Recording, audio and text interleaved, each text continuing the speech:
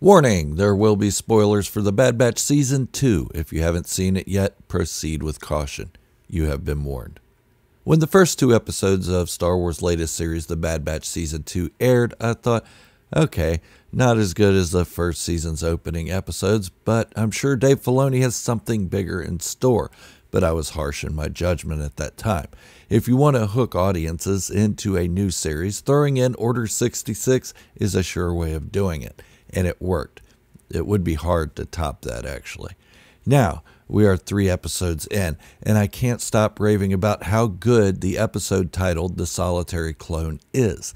Yes, Cassian Andor series had the same effect on me, but that was a different kind of show, and they shouldn't be compared. Really, none of the series should be compared to one another.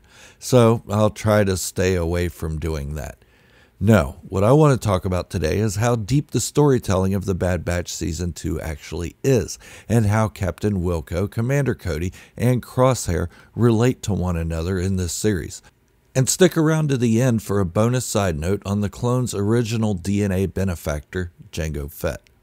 Are you a Star Wars fanatic, or even just a casual fan who likes hearing more about the greatest franchise ever created? If so, welcome home, because Star Wars is all I talk about. So if the galaxy far, far away is your thing, then go on and hit that subscribe button to stay up to date on all my in depth discussions. You are all appreciated so much more than I can say. Now, let's get on with the topic. When Captain Wilco is asked to lie in an official Imperial report, he refuses the order. It goes against his moral code and his military training, and he gets killed for it. Let me take a moment for a side note on that. Yes, he's dead. As much as we all don't want to, that to be true, because we got attached to his character, he really is dead. He was a non character before this episode. We saw him for one episode, and we really didn't care what happened to him before he stood up against Admiral Rampart. The writers made sure we know he's dead. They shot him and threw him off a cliff. A lot of people claimed he could have survived because others have survived similar fates in the past, but they were called Jedi, and one Sith in the case of Darth Maul. Anyways, back to it. Captain Wilco wasn't the first clone to go against orders, but he was the one that showed us that Captain Howzer wasn't alone in his feelings that the Republic had become corrupt in the form of this new galactic empire. No, Captain Wilco was there to show us this would happen on a regular basis moving forward. He's a side character that leads into other characters moving the notion forward. It begins with Wilco refusing an order and leads to characters we know rebelling entirely. Which brings me to Commander Cody. In the Bad Batch Season 2, Episode 3, we see Cody's appearance has changed. And with the accent marks of his armor changing from the orangish yellow look of the Republic days to gray in this new empire, Commander Cody's individual identity has been stripped away. This is reiterated at the end of the episode when Crosshair asks why he won't be under the command of Cody. Admiral Rampart replies, Cody?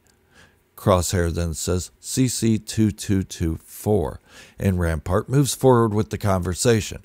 But it isn't just Cody who has his identity taken away from him, it's all clones serving under the Imperial banner. Much like Captain Wilco, Commander Cody is showing the stress marks the Empire is giving the soldiers of the past, honorable men who fought and served throughout the Clone Wars with distinction and strict adherence to their sense of duty, Soldiers whose Jedi generals embraced their individuality and treated them as equals, cared for and respected by the Jedi. Now, they are just a number to the Imperial ranks. As Cody stands in front of the wall memorializing his fallen brothers, we can't help but wonder if the same thoughts were going through his mind that Captain Rex talked about during the initiation of Order 66. If not for the war, we wouldn't exist. But that war was a noble cause, peace throughout the galaxy, free from the evils of Count Dooku and his separatist droid army. And Cody says it. He feels he is no longer serving for peace. The Empire has shifted from being the good Republic to a treacherous imperialistic occupation force. The Republic of the past recognized sovereign systems and left them to govern themselves, where now the Empire seeks to dominate those worlds. And Cody says he isn't alone in these thoughts. More and more clones are feeling this way. Their brothers died in the Clone Wars for nothing. Ultimately, Cody disappears, leaving the Empire. Crosshair is the contrast of Captain Wilco and Commander Cody, a soldier bound to duty. His moral code has taken a back seat to serving the ones who created him. It can be said that Commander Cody planted a seed of doubt in Crosshair's mind, but that fact remains. Crosshair called the clones traitors who were doubting their new mission in the Empire. He compared them to the Jedi, who were now seen as the enemy. He also returned to his duties following the mission with Cody, and it wasn't until Admiral Rampart didn't recognize Cody's name, but rather his number, that Crosshair started showing signs of doubt. Maybe what Cody said did have an impact, but it was Rampart's taking away of the clone's individual identity that he really looked as though he was becoming disillusioned with the Empire. Crosshair had a loosely tight bond with his brothers. He knew Cody, he respected him. Now Cody was gone, and we can be sure that Crosshair started thinking about his closest brothers, the Bad Batch Hunter, Wrecker, Tech, Echo, all names not numbers to him. All brothers with identities and individual personalities. Men he loved at one time. Soldiers who held their honor by saving him on Kamino, even though Crosshair was there to kill them. He then may have wondered if his mission on Kamino was a trap, one set to eliminate every member of the Bad Batch, including him further driving a spark of a thought that he is no longer fighting for the honorable republic, that this empire was something evil born of that era.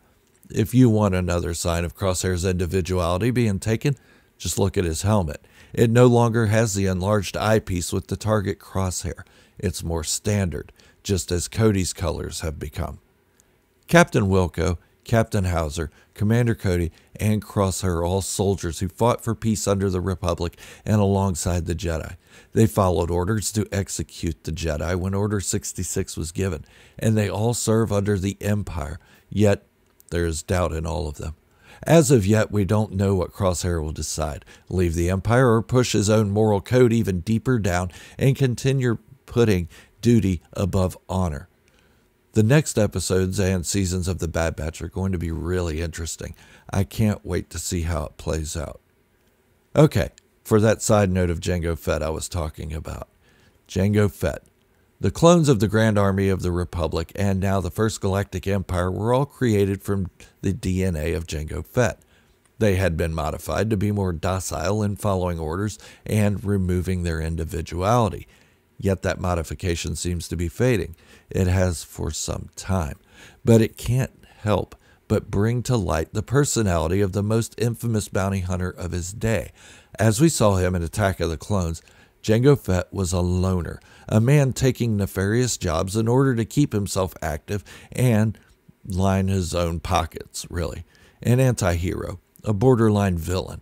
But the clones are showing us a different side of Jango Fett, one that suggests he was doing what needed to be done for his survival, that maybe his past really was one of honor, his past being the Mandalore and leader of the true Mandalorians looking for peace on his own homeworld. The personalities of the clones are a direct result of Jango Fett's own personality. Maybe the Kaminoans' methods of removing that aspect of Jango Fett was a failure or the effects were temporary. Because now we're seeing clones exhibiting signs of only wanting peace, individuality, and honor. It's just something to think about. Let me know in the comments what you think. I love hearing from you all. Your comments really motivate me to do better with each video.